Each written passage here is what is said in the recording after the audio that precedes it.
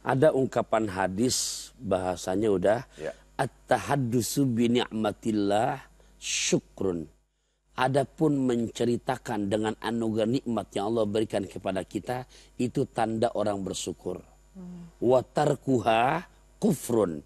Menyembunyikan nikmat yang Allah berikan kepada kita itu tandanya orang yang kufur nikmat. Man lam yaskurin nas lam yaskurillah. Siapa orang yang tidak pandai berterima kasih kepada saudaranya, maka dia orang tidak akan pandai berterima kasih dengan Tuhannya. Man lam yaskuril golil. Siapa orang yang tidak pandai bersyukur, berterima kasih dengan nikmat yang sedikit, lam yaskuril kathir. Pasti dia orang tidak akan pandai berterima kasih ketika Allah kasih nikmat yang banyak.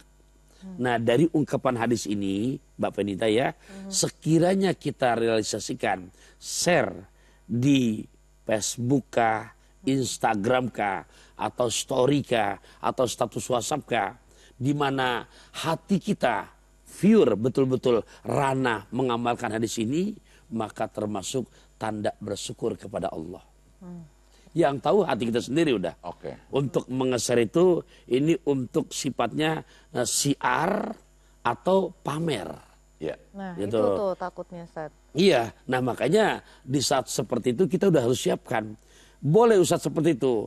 Boleh. Di saat kita bisa menjaga, menata hati kita, jangan sampai tergelincir menjadi hamba yang kufur nikmat. Ya. Karena dengan media yang sekarang sudah apa-apa mudah, udah itu bisa kita jadikan ladang dakwah, Ya. Ya. ladang amal.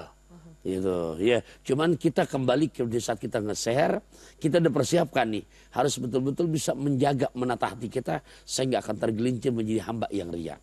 Ya, ya. Adapun komentar netizen itu nanti oh kamu ria, oh kamu pamer, itu terserah penilaian orang. Yang penting hati kita bisa untuk menatanya, so silakan.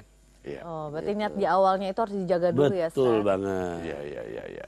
Jadi juga kita nggak bisa ngejudge orang yang kalau kita ngeliat postingan lagi memamerkan sesuatu sepertinya kita juga nggak bisa ngejudge dia lagi sombong, Pamer. Nggak boleh, nggak Siapa tahu bisa. dia bisa menjaga hatinya ya. Bisa jadi yang nge-share di sosmed, yang nge-share secara apa namanya eh, publikasi yang luas, bisa jadi dia lebih ikhlas ketimbang yang sembunyi-sembunyi. Oh. Iya, kenapa? Karena sembunyi-sembunyi juga di hatinya ngelihat yang gitu ternyata dia ujub.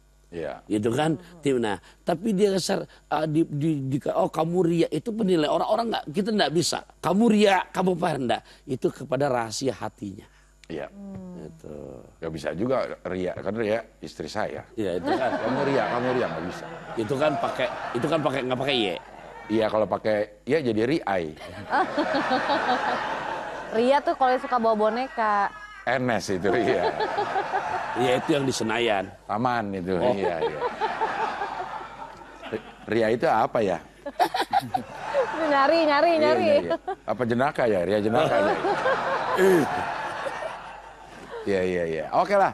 Ini ada pertanyaan Ustaz dari hamba Allah. Iya. Banyak manusia yang diberi kenikmatan bukan menjadikan eh, bukan menjadikan dirinya dekat dengan Allah katanya. Justru sebaliknya. Hal itu menjauhkan diri dari Allah. Kenapa bisa begitu Ustaz? iya karena memang apa di saat uh, orang diuji susah udah Iya. itu banyak yang lulus yang kuat tapi di saat diberikan kenikmatan banyak yang dia tuh lupa diri di saat diuji susah Ya, ya dengan lulus. materi itu banyak yang lulus mereka.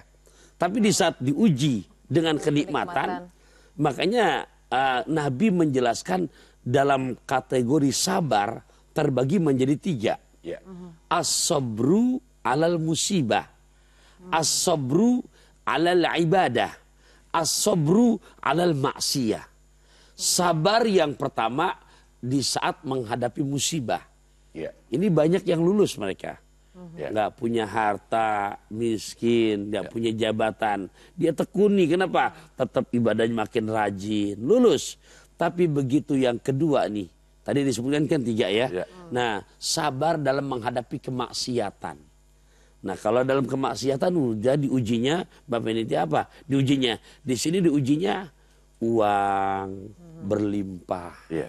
Ya kalau gambarannya, mohon maaf, uang hitung sampai berlipat-lipat. Nggak berseri lah gitu. Gak berseri. Gak laku dong. Gak ada serinya. Nggak ada serinya ya. Uang mainan nih.